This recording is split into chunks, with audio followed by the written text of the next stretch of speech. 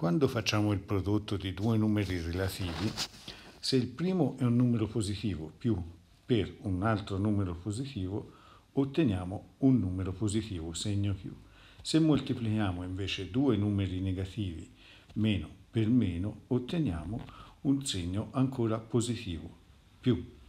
Se invece moltiplichiamo un numero positivo più per un numero negativo meno, otteniamo un numero negativo se moltiplichiamo un numero negativo per un numero positivo più otteniamo un numero negativo.